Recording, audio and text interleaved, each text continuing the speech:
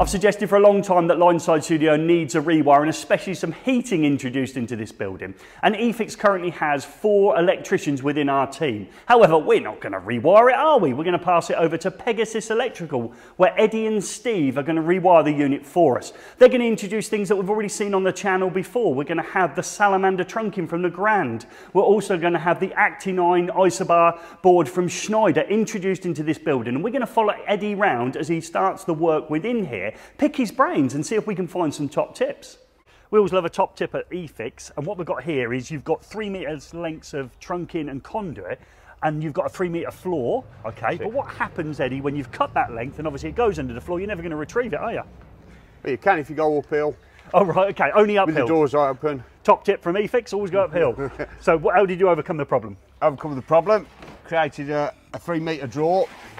Ah, right, so you use a piece of trunking. What's stopping them going out the other end?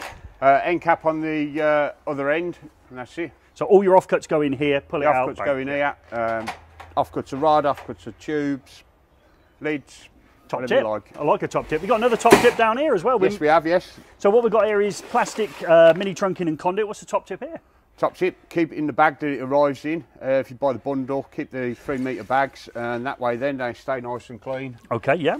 So getting all dirty that's probably done about 20,000 miles. and it's yeah, clean. as clean as it would come. And obviously you can put the offcuts in here as well because yeah. they stay within the back. Yeah, still within the back. Top tip.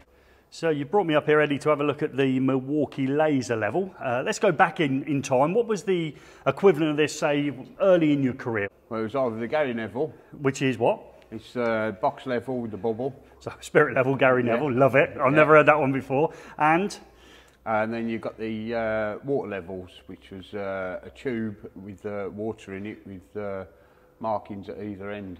And you'd keep one in a fixed position of what you wanted your datum line to be, and when you brought the other one up to where you thought it was going to be, again, when that line levelled out, That's you'd it, get the yeah, right when position. it zeroed out, that was it, you was there. Okay, but this time we've got this uh, lovely looking Milwaukee one. Just remind me how it's attached to the wall, can you? It's um, on an earth magnet, so you fix it to any steel work. There's also comes with a clamp that you can fix for um, like ceiling grid and such like as well. Okay, and it gives you three lines, am I right? Horizontal, vertical, and does it give you one over the top? Yes, it's uh, got three planes on it, horizontal and vertical. And just remind me what we're using it here for then. So I can see we've got the horizontal line comes round. What, what are you using it for? Uh, we're using that to set up the uh, hanging struts and the uh, trunking. So it hits the bottom line of the trunking all the way around the room and you're going to use that as your datum line throughout. That's right, yeah.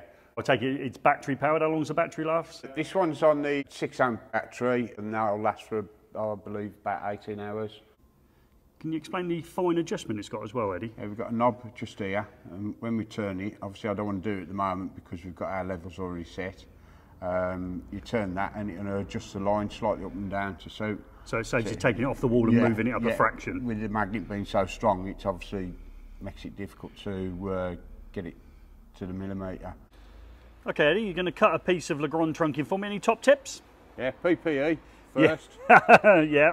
And uh, I use a block of wood to clamp the front to help to uh, clamp it correctly and then just cut nice and steady. Right, okay, and then you're going to show us another tip about once you've cut it and preparing the end, yeah? Yes, will do, yeah.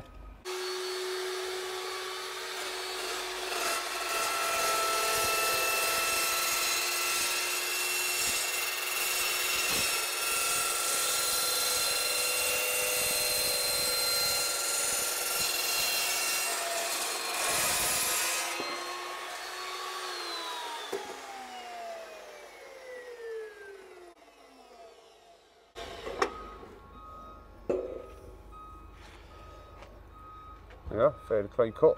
Okay, but of course we're obviously going to have to spray that up in order that it doesn't rust. Yeah, well, I'll need a slight foil. Yeah. Which I won't do for demonstration purposes. But um, you got a top tip for spraying it up, yeah? I have indeed, yeah. You've told me I've done it wrong, so that's good. I like yeah. that. I wouldn't say you've done it wrong. But I didn't do it right.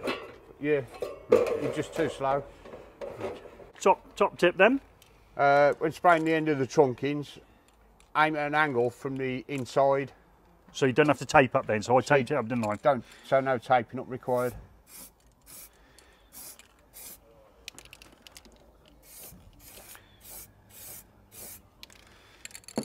Okay. As you see then, no spray on the outside. Oh, and that's a bit we're no bothered about. masking required. Okay. Top tip. Top zip. Eddie, we've just pushed it in here to our 90 degree, and you said there's a little top tip for me here. Yeah, if you loosen off the uh, nuts, uh, that, they'll clip straight in. Thus then it, you've got a pivot point, uh, so you can uh, fix the trunking at the other end. Uh, thus uh, you can do it as a one-man job. So me and Gordon have looked at Legrand's IP4X and IP55 trunking on the channel. However, it takes a real professional, someone installing it day in and day out in order that we can get a true and honest reflection of the trunking. However, Steve is currently busy, so I've had to draft you in, Eddie, for your opinion. So have you before fitted this Legrand trunking? Yes. You have? Yes. So since when? Since 2011. Wow, that is a long time that you've been installing it. Now, there must be reasons behind choosing that as your trunking. So what would you say would be its best feature? Uh, the quality and the speed of fitting. speed of fitting. So therefore, it's easier to install. Therefore, we can work quicker and we get to the next job, Yeah. etc. In that time, so 2011 is going back a while. Have you fitted anyone else's trunking in that time? Yes, I've fitted other makes, but I've just come straight back to Legrand. Right. Okay. So it's your trunking of choice. Would you suggest? Oh, without question, yeah. And we've seen it being installed. We're going to continue on to getting some great tips off Eddie as we go and put the lid on, etc. And we've also got the distribution board to mount. So should we get on with doing some of that, or should we let Steve do it all? We'll leave Steve to do it. We'll it. leave Steve to do it all. so what's the top tip this time then, Eddie? Oh, we're fitting turnbuckles to the uh, trunking lid. Okay, so we've got in front of us here 50 mil and a 100 mil lid there, and it looks like patent pending invention from Pegasus Electrical. Is that correct? Yes, something like that, yes. Okay, so you're going to show us how you're going to mark up for these turnbuckle clips then? Yes. First of all, we mark up 150, uh, 150 from the end of the trunking, Okay, straight line through. so square that one up, and then you're going to be using this bit of kit here, yeah? That's correct, yeah. And simple as. This is actually a viewing hole, this one is. Ah, right, so, ah, I see? like that, yes. you can see that you've, uh, let's just have a little look, yeah, you've squared that one in there. Yeah. And which of the two are you going to use? I'm going to be using these two here, Okay. two marking points.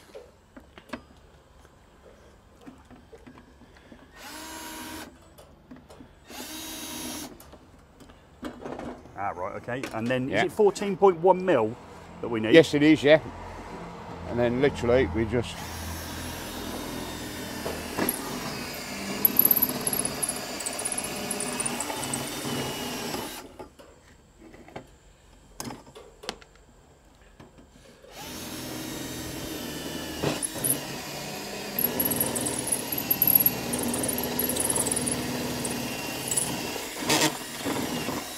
that's a 14 mil hole saw, and you say that gives a real nice uh, not uh, nice snug uh, fit. Yes, yeah, it does. okay. So let's see. Uh, you're going to pop a couple in for us? Yes, I will do. Yeah, get me tap on me tap. And I tend to uh, face the uh, the spring retainer Let's have a look. to the outside, Yeah. so it's ready to go. Go. Pop them in there. Oh, Put right. down. Yeah, that's Yeah. a nice fit, isn't it?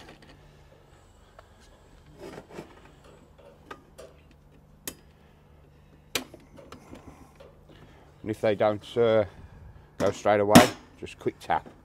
Okay. Going to repeat the process for us on the 100 mil lid? Yes, it works slightly differently. All right. Okay. I like a, a second top tip then. Yeah.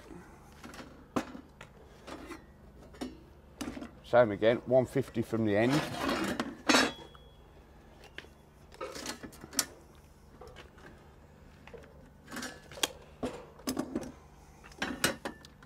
Is it the same view in the hole again? In your your lid itself, that viewing hole does it work for both?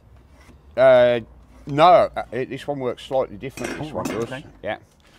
It's this view hole this time. Oh right. Okay. So second Yeah. viewing hole. Yeah. See, that gives us that one. Yeah.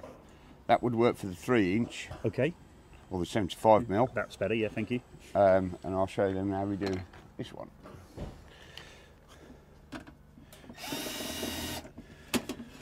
all we do is flip that round. Ah, right, okay. Yeah, and that gives us two positions and uh, we drill again. And off we go again.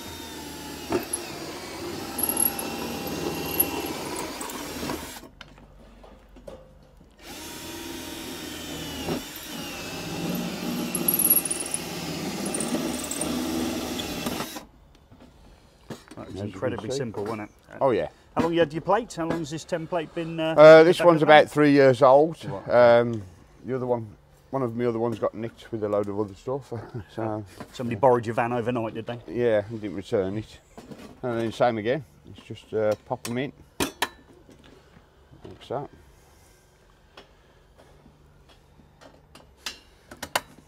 Okay, so I would suggest that plate there is a top tip from Eddie.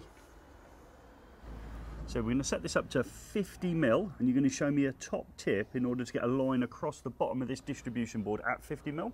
Yes, that's correct, Gary. Um, little carpenter trick. Okay. There we go, six holes. So we've marked out six positions. What size are the bushes again?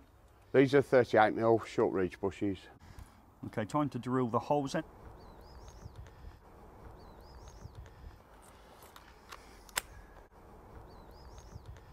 That's nice and sturdy. Top tip. Put cardboard in. Yep. When you vac out, you've only got to vac that part instead of the whole board. Oh, right, yeah.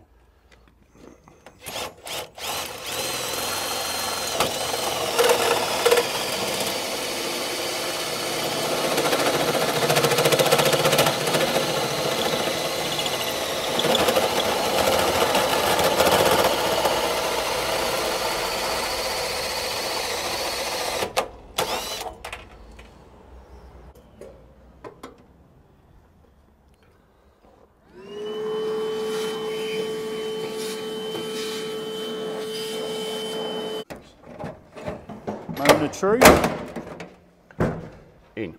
They line up, do they? Yeah, yeah, yeah. Stroke of luck now, wasn't it? No. That looks like a product I've seen before on the channel. What have we got there then?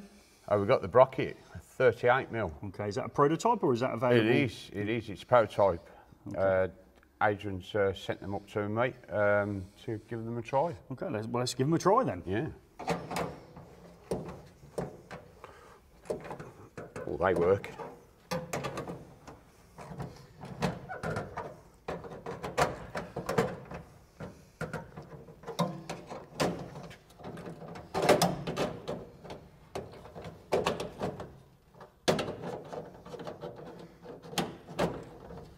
Well, that makes life easier, doesn't it?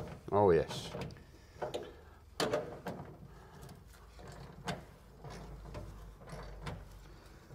Me and the team at eFIXX would like to thank Pegasus Electrical and all those top tips he gave us as he installed the containment here at Lineside Studios. And what a pleasure it was to see the Legrand Salamandre IP4X trunking being installed after me and Gordon had done a review on it.